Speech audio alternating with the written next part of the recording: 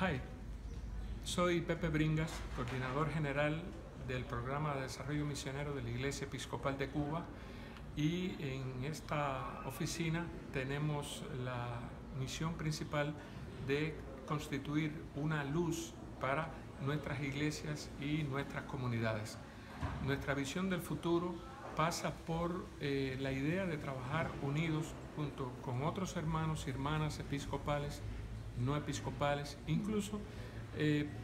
personas de la comunidad que eh, pertenecen al mundo secular, transformando la vida de las personas, superando los modelos asistenciales y paternalistas y convirtiendo a las personas en actores protagonistas de su propio desarrollo. Por tanto, eh, seguimos viendo nuestro programa de desarrollo misionero enfocado en convertir a la iglesia en una luz para toda la comunidad, para fortalecer su espiritualidad, su desarrollo humano, su desarrollo económico y en un ambiente de respeto ambiental y de espiritualidad cristiana.